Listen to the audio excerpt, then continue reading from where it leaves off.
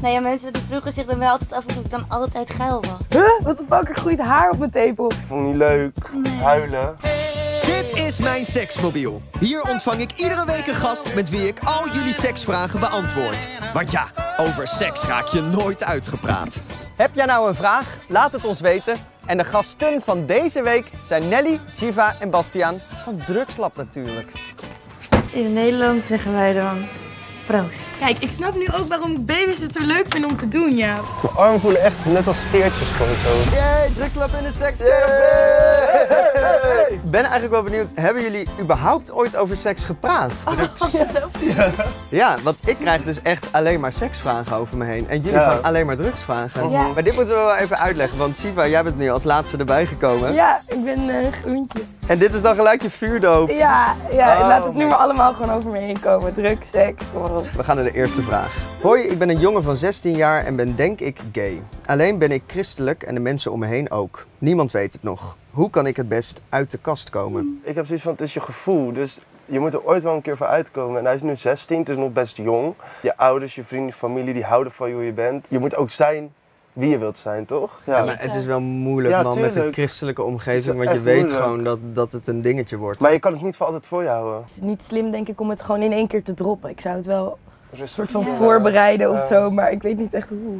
Niet gelijk te zeggen, ja, ik ga grinder en ik ga helemaal, weet je, ik ga met tien man, weet je, gewoon, ja, Ja, daar wil ik wat mee. Dat je Ja. inderdaad dat je begrip toont dat Ja. het moeilijk is voor hun, Ja, maar dat je hoopt dat jij kan zijn wie je wil zijn. ja precies. Het, het heeft gewoon tijd nodig, denk ik, voor je ouders ook. Je moet het rustig vertellen, Ja. instappen en het heeft gewoon tijd nodig. Maar ik denk wel, als je zit te kijken en je hebt zoiets van, ik heb dit eh, precies zo meegemaakt, zet het dan vooral in de comments en deel het alsjeblieft, want dat verrijkt alleen maar meer voor iedereen.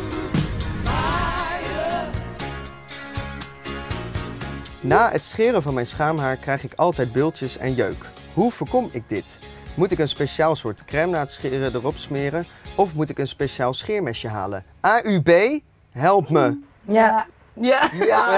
Ja, dat veel ja. Echt waar. zo'n Zoveel gedoe. probleem. Ja. Voor mij helpt scrubben echt heel erg. Gewoon zodra ik het heb geschoren, gelijk daarna zachtjes scrubben. En je kan dus ook ehm pseudocrème, dat is een soort van babycrème van de dikke witte zalf, na het scheren erop smeren en dan krijg je die rode bultjes niet. En je kan ook trimmen in plaats van Ja, scheren. dat is Want inderdaad dat een helpt echt heel goed. Je kan het ook laten waksen.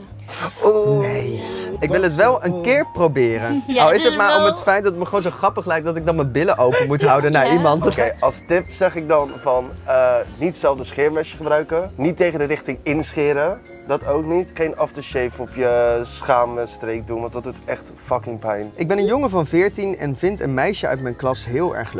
Zij vindt mij echt niet leuk, maar ziet me wel als een goede vriend van school. Wat is het beste om te doen? Gewoon loslaten of haar mij leuker te laten vinden? Oeh, de friendzone. Oh. Ja, als zij jou echt niet leuk vindt, moet je haar ook niet gaan dwingen. Nee. Maar hebben jullie het ooit wel eens gehad? Ehm, Nee, Alles is iedereen is altijd- verliefd op Nelly. Iedereen is altijd verliefd op Nelly. Dus Nelly heeft daar geen last van. Ik heb heel vaak nog verliefd op iemand was en diegene niet op mij. Jarenlang Oh, gewoon. ik Oh, en ik maar ook- Valentijnskaarten sturen. Echt? En, ja. Oh, wat lief. Vond ik niet leuk. Nee. Huilen. Het was ook goed voor me, weet je wel. Want je leert daar ook gewoon weer van. Ja, je kan niet altijd Ja. alles krijgen wat je wil. Nee, dat is waar. Dat is een hele goede. goede les. Hallo, ik ben een meisje van 16 en heb een hele rare rechtertepel. Als ze hard worden heeft mijn tepel een soort gat erin, of zo. Ik voel me er ook onzeker over, over mijn borsten. Hoe zagen jullie tepels eruit toen je jong was? Letten jongens op tepels? Ik heb echt altijd wel, als ik geen BH had, echt van die harde doppen, zeg maar. Maar vond je dat vervelend? Nou ja, mensen die vroegen zich dan wel altijd af of ik dan altijd geil was. Ja, hoe oud was je toen je dat had? Ja, al best wel jong. Maar gingen dan kinderen tegen jou zeggen, ben je geil? Nee, nee, nee. Had ook, toen ik iets van 13 was, kwam ik erachter dat ik opeens een haar erop had. En toen werd ik helemaal gek, omdat ik dacht, huh, wat de fuck, er groeit haar op mijn tepel. En toen op een gegeven moment een keer met een vriendin besproken en die zei, oh ja, dat heb ik ook. Ik heb ook allemaal Ja. haren op mijn tepel. Ik denk wel dat het belangrijk is dat als je ermee bent opgegroeid, dan hoort het gewoon bij je. Maar stel dat het spontaan zo is gebeurd, dan is het denk ik altijd fijn om het even te laten checken bij de huisarts. Is voor jou. Liefde. Ik heb nu twee langere relaties gehad, maar beide vriendjes kwamen eigenlijk nooit klaar als ik ze pijpte. Soms wel, maar dan na een half uur met aftrekken. En dat hield ik nooit echt vol. Nee, dat is ook wel echt lang. Is dit normaal of doe ik misschien iets fout? Ik heb hen ook gevraagd wat ik fout deed, maar daar kwam niet echt wat uit. Ik denk dat het ook, het is wel echt moeilijk, denk ik, om iemand klaar te pijpen. Toch? Of denken jullie daar heel anders over? Ja, je kan het het best vergelijken met zo'n Calippo-ijsje. Je zuigt het op, maar je likt het ook af. Je hebt nooit echt veel eh, klachten gehad. Dus ik zou zeggen, hou een Calippo. Ik denk dat het gewoon moet ontstaan, dus dat je het niet om het klaarpijpen moet doen. Ja. Ja, en als het met pijpen niet lukt, eh, probeer dan wat anders. Ik ben 13 en ga altijd bij mijn vriendje naar de cinema, omdat hij me daar kan vingeren. Bij hem kan het niet. Wacht, dit moeten we wel even overnemen. want- Ik ben 13 en ga altijd bij mijn vriendje naar de cinema, omdat hij me daar kan vingeren. Bij hem kan het niet. En bij mij roept mijn moeder ons steeds naar beneden als we naar boven gaan.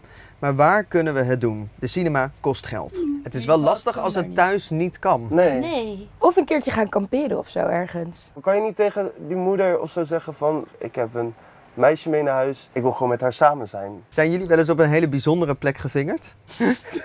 Vind je dit ongemakkelijk dat ik dit vraag? Nou, ik wil het eigenlijk ook wel weten nu. Ik was op de kermis. Zeg maar met, zo, met een jongen in een soort van steeg gegaan. Twee minuten zijn hand in mijn broek en toen zei ik, kom we gaan weer. Dat ik dacht, dit is Ja. niet heel ideaal. En jij? Heb je een, een bijzonder vingerplekje? Een van de eerste keren, en toen was ik op vakantie en het was in de zee. Het was helemaal niks, het was echt drie keer niks. Maar hij zat er super lekker in. Ik wilde ook niet... Letterlijk heb ik Dus de zee is een no-go. Nee, doe het niet. Eh, maar ga wel voor een leuke plek.